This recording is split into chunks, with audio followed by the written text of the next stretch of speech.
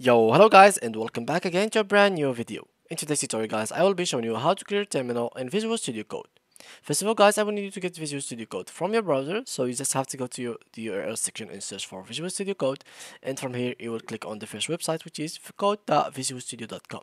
So after you click on it, you'll find this page which is the official website of Visual Studio Code. So click here to download it for Windows if you have Windows, or if you have for example Mac OS or Linux, you only have to click on this arrow and this drop down list will be opened so here you'll find macOS download link linux and windows as well.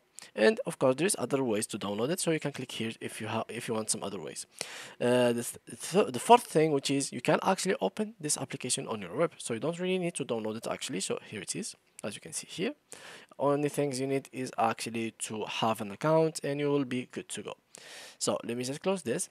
And now guys after you download it and you have everything set it up what you need to do is make sure beside that like make sure before actually download it make sure that you are on this blue logo. For example if i search for visual studio let's say that you search for visual studio it doesn't write everything because you know google will give you visual studio code normally but no guys there's actually another software it's called visual studio and they have like the same logo the same name exactly but they have like totally different tasks.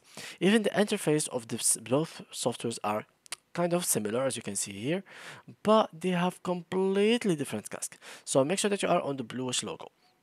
Now in order for us to clean our terminal so basically guys the terminal is, is this one. So if i click here um new terminal this is the terminal. So here you can write whatever you want and yeah it will say error etc so how you can actually clean it? So basically just remove from here you will find this. So all you need to do is actually click on this uh, kill or delete over here and everything will be deleted. If you want a new one you can just click here or just click on the shortcut which is control shift u. So yeah guys that was basically it. That's how you can clear uh, terminal in visual studio code. So thank you guys for watching and see you in the next tutorial